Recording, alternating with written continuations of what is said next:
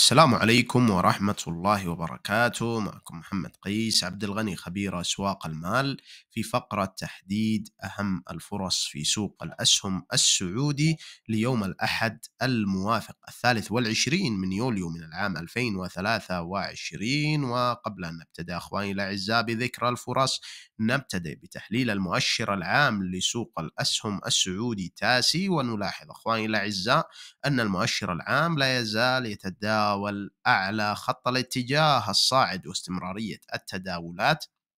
أعلى مستوى 11400 نقطة لا تزال ترجح الكفة الإيجابية والسيناريو الإيجابي ولكن لن نشاهد مكاسب جديدة للمؤشر العام إلا بتخطي مستوى ال 11900 حيث أن تخطيه سوف يقود المؤشر العام لتحقيق مكاسب قد تصل إلى مستوى 12400 على المدى الأسبوعي.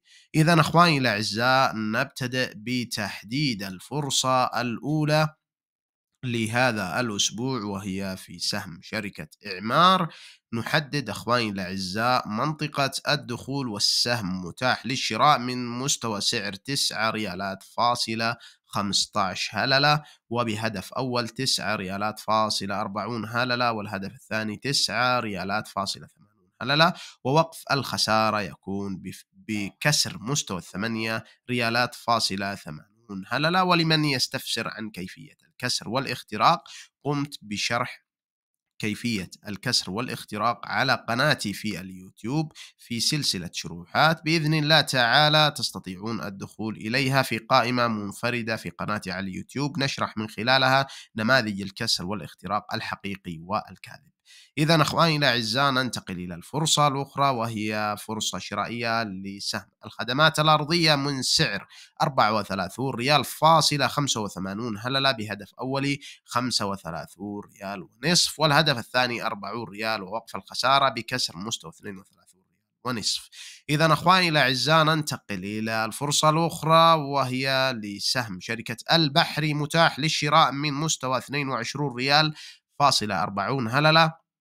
وبمستهدف أول 22 ريال فاصلة 70 هللة ومستهدف ثاني ب 23 ريال فاصلة 20 هللة ووقف الخسارة بكسر 21 ريال فاصلة 90 هللة إذا أخواني الأعزاء ننتقل للفرصة الأخرى وهي فرصة في سهم شركة إسمنت. اليمامة متاح للشراء من 36 ريال فاصلة 20 هللة وبمستهدف أول 37 ريال ومستهدف ثاني 38 ريال ونصف ووقف الخسارة بتأكيد كسر ال 35 ريال فاصلة 35 هللة إذا أخواني الأعزاء ننتقل إلى تحليل السهم الآخر أو تحديد الفرصة الأخرى وهي فرصة شرائية في سهم شركة إسمنت العربية. متاح للشراء من 38 ريال فاصلة 35 هللة وهدف أولي 38 ريال فاصلة 80 هللة وهدف ثاني هو 39 ريال فاصلة 60 هللة ووقف الخسارة يتفعل بكسر مستوى 37 ريال فاصلة 80 هللة. إذا أخواني الأعزاء ننتقل إلى الفرصة الأخرى وهي فرصة شرائية لسهم شركة الزجاج ونلاحظ أخواني الأعزاء السهم متاح للشراء من 39 ريال ونصف وبمستهدف أول 40 ريال ونصف ومستهدف ثاني 43 ريال ووقف الخسارة يتفعل بكسر 38 ريال. إذا أخواني الأعزاء ننتقل إلى تحليل الفرصة الأخرى وهي سهم شركة أبو معطي ونلاحظ أنه متاح للشراء من 33 ريال فاصلة 40 هللة بمستهدف أول 34 ريال ومستهدف ثاني 35 ريال فاصلة 90 هللة ووقف الخسارة يتفعل ب 32 ريال بتأكيد كسرها.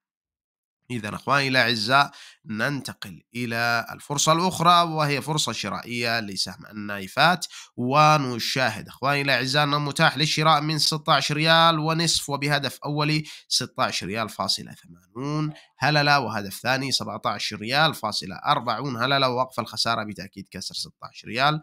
فاصلة 20 هللة إذا أخواني الأعزاء ننتقل للفرصة الأخرى وهي فرصة سهم شركة ذيب وهو متاح للشراء من 81 ريال فاصلة 90 هللة والمستهدف الأول هو 84 ريال ومستهدف ثاني 88 ريال. وقف الخسارة يتفعل بكسر السبعة آه 78 ريال. عفوا.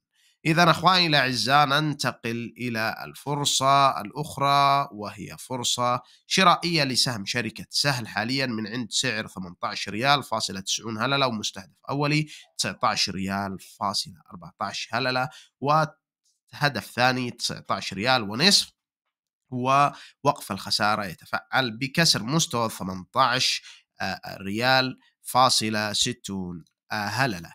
إذا أخواني الأعزاء ننتقل لفرصتنا الأخيرة لهذا الأسبوع وهي فرصة شرائية لسهم شركة سيرة وحاليا السهم متاح للشراء من سعر 27 ريال فاصلة 85 هللة وبمستهدف أول وهو 28 ريال فاصلة 30 هللة ومستهدف ثاني وهو 29 ريال ونصف ووقف الخسارة يتفعل بتأكيد كسر مستوى 27 ريال. إذا أخواني الأعزاء إلى هنا نكون. قد انتهينا من فقرة تحديد أهم الفرص في سوق الأسهم السعودي للأسبوع الحالي. أشكر لكم حسن المتابعة وتقبلوا مني طيب التحيات وفي أمان الله.